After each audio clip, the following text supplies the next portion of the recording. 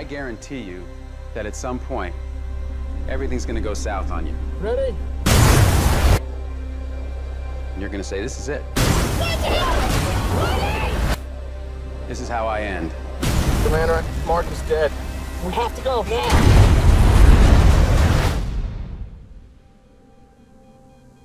Now, you can either accept that, or you can get to work. This will come as quite a shock to my crewmates, and to NASA, and to the entire world. But I'm still alive.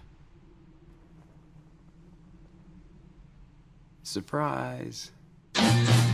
Here's the rub. It's gonna be four years for another mission to reach me. And I'm gonna have designed to last 31 days. So I gotta make water and grow food on a planet where nothing grows. But if I can't figure out a way to make contact with NASA, none of this matters anyway. We've got an incoming message. Mein Gott. Mark Watney's still alive. In your face, Neil Armstrong.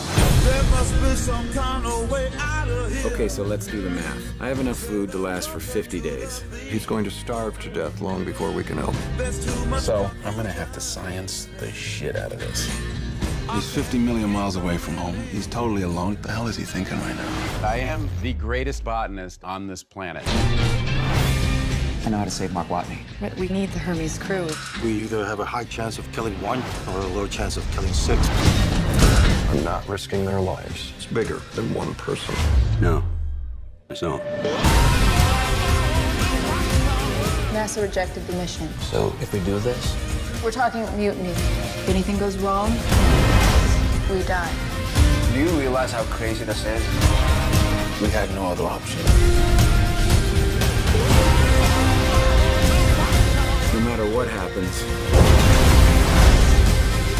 tell the world, tell my family that I never stop fighting to make it home.